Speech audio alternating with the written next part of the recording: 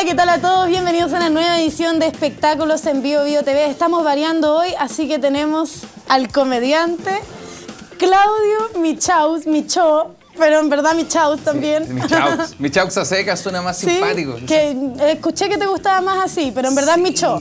Es, es que debería pronunciarse Claudio Michó, pero si a mí me presentaran a alguien que dice, oye, Juan, ¿cachai el comediante Claudio Michó? No, no, No, no ni, ni lo busco. No, no. Michaux cercano. Sí, es más como para el pueblo, para la gente. Sí, sí, Sí. Para mí igual también. Está bien, me parece, me gusta. Bueno, tienes 138 mil suscriptores en YouTube, en Instagram tienes como 256 mil seguidores. Claro, más o menos. Es una carrera que va en ascenso y yo quiero que partamos por los orígenes de eh, cuando tú estabas trabajando en un local y de repente te diste cuenta de que quizás podías ser bueno en esto y lo eres. Eh, me encanta. Sí, de hecho, los inicios del stand-up son eso. Yo hacía, era garzón en un local de Puente Alto llamado Pleno Puente, que ya no existe. Y hacíamos stand-up los miércoles en la noche. De hecho, yo partí en el stand-up cuando estaba estudiando fotografía y me faltaba, no sé, como seis meses para titularme. Entonces yo dije, ya, estos seis meses que me quedan de acá a la titulación, si no consigo nada con la comedia, me dedico a ser fotógrafo, que igual soy bueno y me gusta. Y trabajé harto esos seis meses y empezó a funcionar. Pero sí partimos en un local donde yo era garzón y en la noche hacíamos stand-up. Me gusta eso porque es como súper de película estadounidense, así como que es garzón y de repente es como, nosotros le servimos, pero nosotros también somos la entretención. Sí, como, es un poco como el garzón que canta. Entonces, Me encanta. sí, Sí. sí. pues ahí mientras cobrábamos la cuenta y todo, aprovechaba pasar el dato. Oye, en la noche hay un showcito si quieren venir igual. Hay una persona súper buena. Sí, hay- el- los comediantes son muy buenos, la entrada muy barata, vale 27 mil. ¡Ah! te cachai! ¿Y cómo fue también este trabajo como de ir desarrollando también una rutina? Porque no creo que sea llegar y hablar cualquier cosa, o un poco sí. O sea, claro, de hecho, de todo. al, al- comienzo es un poco eso, es un poco como que uno no entiende cómo funciona, entonces debe ser como cuando un- los músicos parten y dicen, oh, pero yo igual tengo sentimiento, entonces voy a escribirlo. No es, no es tan Claro. fácil, ¿cachai? Pero claro, al principio era más como tengo historias familiares, anécdotas que son chistosas, uno las anota como si fuesen chistes y eh, después tú vas a uno, los shows se llaman open mic, ¿cachai? Que son, son micrófonos abiertos donde cualquier persona puede ir a probar chistes. Alguien antiguo, alguien nuevo, nosotros. son bienvenidos. Todos son bienvenidos. Súper democrático. Exactamente. Por ende son shows súper súper malos igual. Claro. Claro. porque son todos nuevos, pues, ¿cachai? Y ahí uno prueba las rutinas por primera vez. Pues yo tenía unos chistecitos que probé en un cumpleaños de mi familia, donde obviamente estaban todos borrachos, entonces se rieron de todo. Entonces te dijiste, esta es la Y que dije, oh, soy un genio de la comedia, parece. Sí, pues después fui a probarlo a un bar. Y funcionó. No tanto.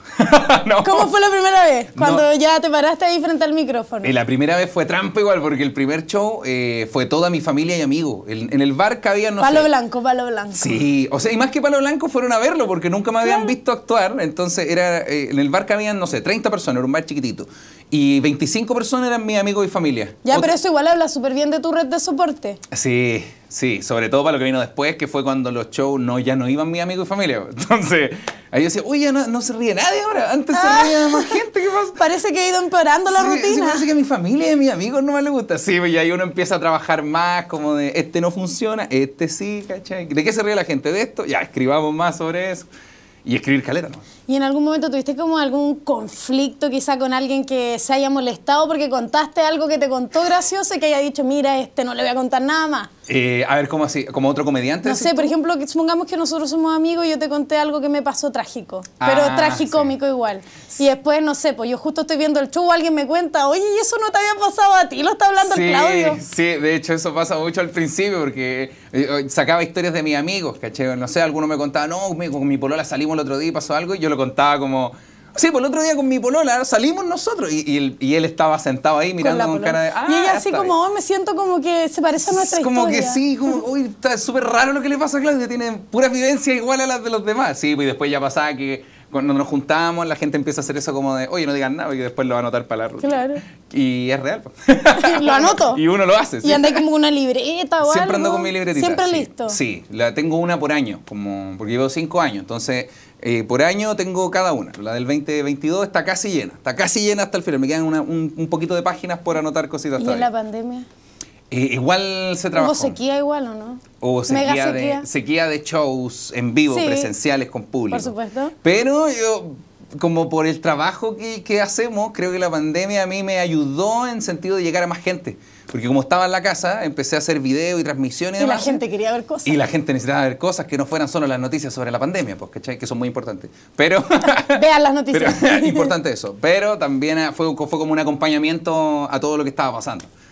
Y en cuanto al momento en que entraste a este programa a probarte, que esto ya es como otra etapa de tu carrera, o sea, ya partimos ahí en el localcito y después vamos a llegar a un casting de un programa de humor. Así es, que fue, ¿puedo decir el nombre? Sí, dilo. sí, La Wincha, que el programa La Wincha, que era como, no sé, como el elegido, el Coliseo Romano, como este estilo de programa. Claro.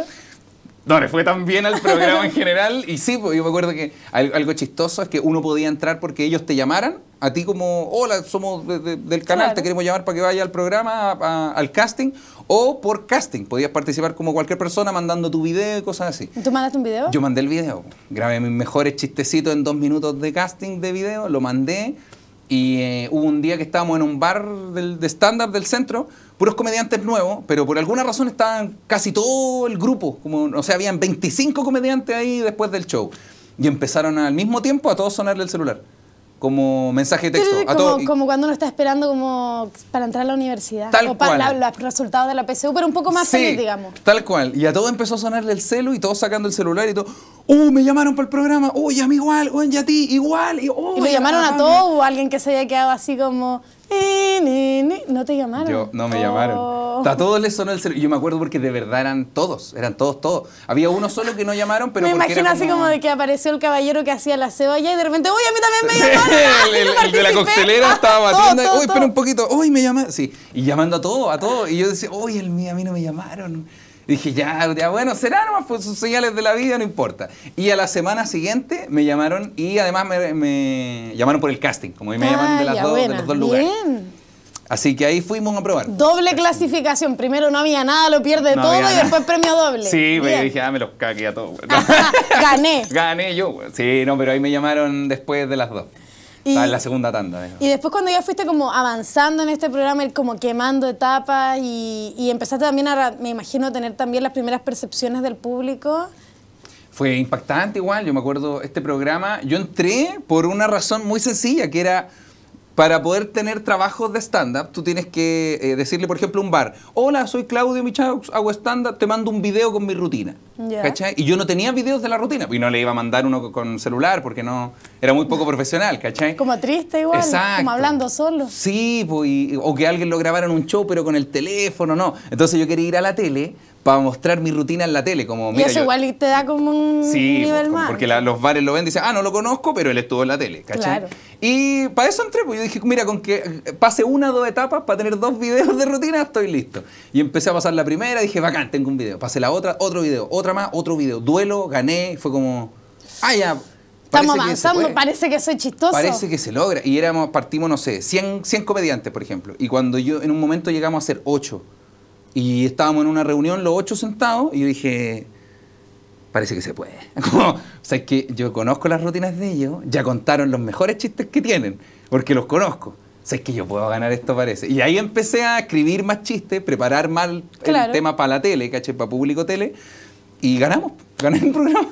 Y eso también te llevó luego a llegar al Festival del Guasol Mue. Así fue. Fuimos la- al año subsi- al, perdón, al año siguiente, porque este programa fue como, no sé, en diciembre, Festival del Guaso en enero, entonces estaba muy cerca para ir al festival Claro. y todo.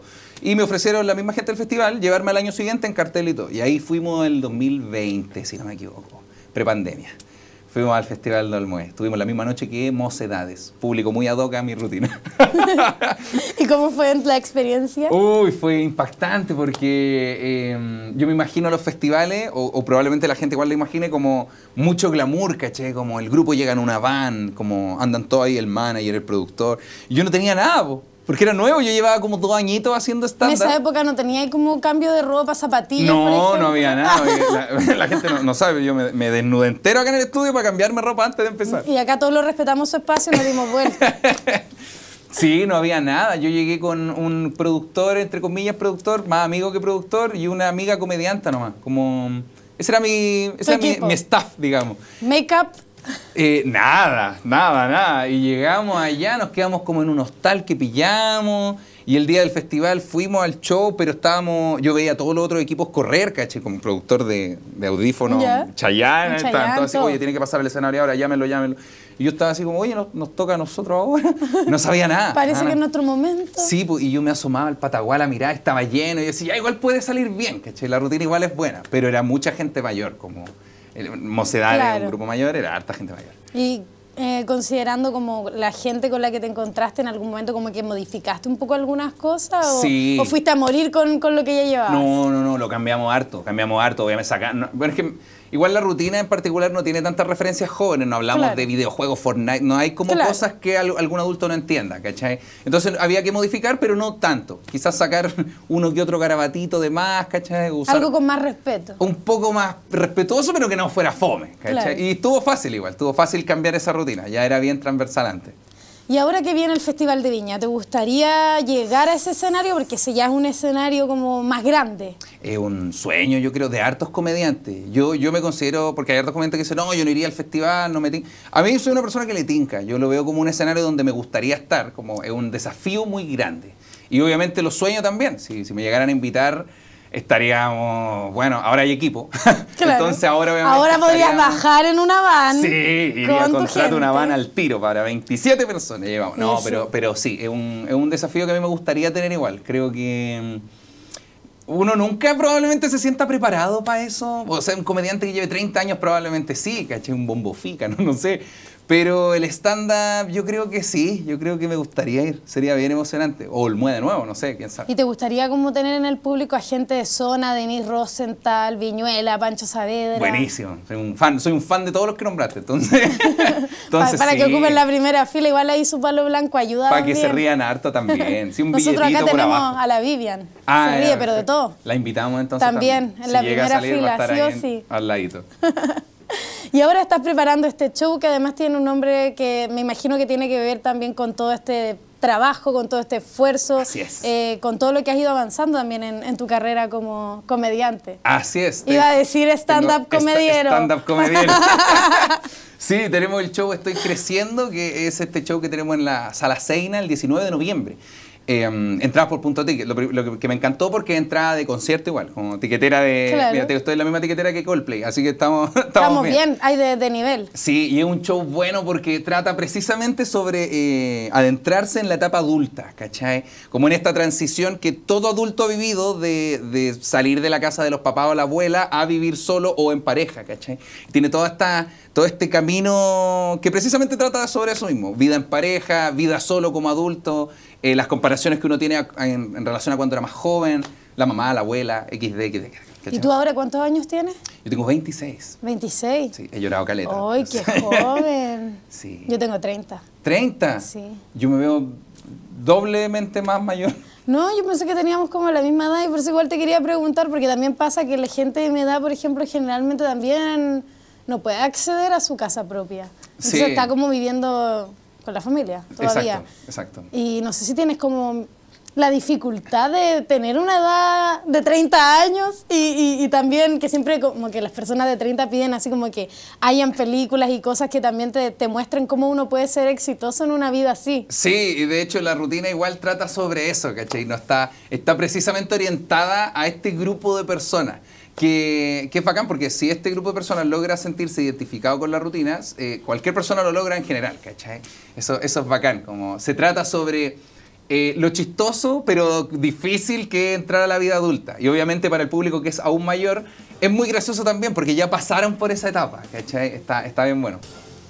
¿Y dónde se pueden conseguir también los tickets y todo para ser parte de, de este evento para toda la gente que está viendo este programa? No sé si es que en algún momento vas a viajar a regiones porque este programa también lo ven en Concepción y yo creo que a la gente ya también le gustaría eh, reírse contigo. Sí, me encanta. No, Con- Concepción es mi ciudad favorita de Chile, sie- siempre lo he dicho, me encanta. Dilo a esa cámara porque ahí te están Con- mirando desde Concepción. Gente de Concepción, Ah. ustedes lo saben, me encanta, me encanta Concepción.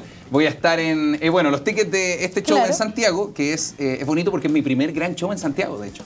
¿Qué Hacemos, hacemos harto bares y, y- y comedy y demás, pero, pero hacer una función en teatro es especial. teatro. Sí, y es un teatro para mil personas. Entonces vamos con toda nuestra parafernalia, que yo siempre digo eso, vayan al show porque tiene toda la parafernalia. Parafernalia es la escenografía, tiene vestuario, efectivamente. Bien. Tiene, bueno, las luces también son de nosotros. Es todo bien bonito, tiene toda una propuesta que de verdad les va a encantar y además que de verdad es muy chistoso. El, el show tiene chistes muy seguidos, ¿cachai? Y eh, vamos a estar en región también. Concepción va a ser más probablemente para el verano, muy cercano al verano. Y vamos a estar muy pronto ahora en Valdivia, el 21 de septiembre vamos a estar en Valdivia, en el Teatro Lord Cochrane, que queda justo ahí en, en el, en el centro de Valdivia. Entradas en comediaticket.cl. Y las de Santiago, punto ticket. Ah, muy bien. Muchas gracias, Claudio, por ser parte de este programa. Espero que haya servido esto también para que podamos difundir eh, no solo música y libros, sino que también a la gente como tú que hace reír. Muchas gracias a ti por la invitación. Gracias a la gente igual por ver esto, les agradezco mucho. Síganme en Instagram si les gusta también. Eso.